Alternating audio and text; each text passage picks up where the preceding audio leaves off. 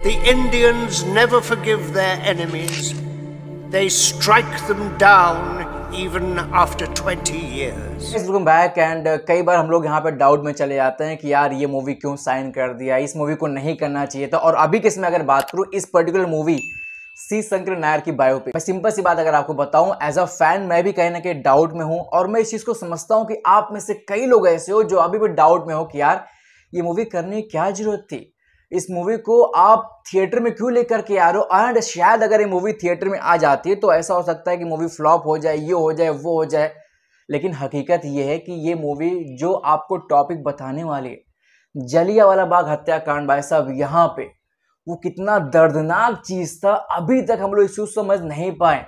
और हकीकत यही कि जब आप उस चीज़ को, जब आप उस ब्रुटैलिटी को भाई स्क्रीन के ऊपर, बड़े पर्दे के ऊपर अगर आप देखोगे, कितनी बहरहमी के साथ 300, 400, 500 जितने भी वहाँ पे सिख लोग थे उनको अंग्रेज़ों ने किस तरह से मार दिया?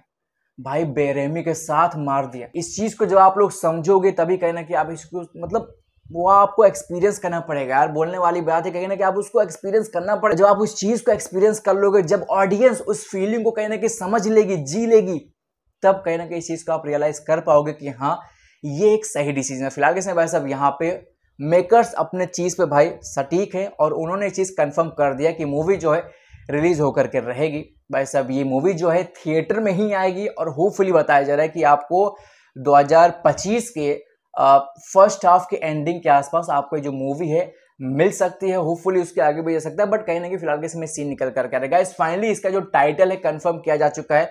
अब तक हमको सुनने में आ रहा था श्री शंकर नायर हो सकता है। अब तक हमको सुनने में आ रहा शंकरन हो सकता है। अब तक हमको सुनने में आ रहा था कि the untold story of Shri Shankar Nair ऐसा भी हो सकता है। लेकिन गैस फाइनली यहाँ पे जो टाइटल कंफर्म किया जा चुका है, वो है शंकरा। गाय शंकरा यहाँ पे फ़िलहाल के समय इस मूवी का टाइटल किया गया है लॉक आर माधवन आप लोग जानते इसे मिलने वाले हैं भाई साहब, यहाँ पे आपको अनन्या पांडे मिलने वाली हैं, जो कि यहाँ पे अक्षय पाजी, यानी भाई साहब यहाँ पे हमारे सी शंकर नायर के जूनियर होंगे और उनको गाइड करेंगे, उनको सपोर्ट करेंगे।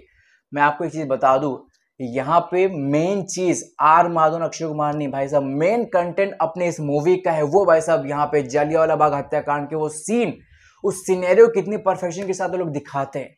और मैं आपको बता दे रहा हूँ कि ये मूवी जब भी थिएटर में आएगी लोग इस चीज़ को फील करेंगे और आप as a fan proud feel करोगे कि हमारे बंदे ने इस मूवी को किया।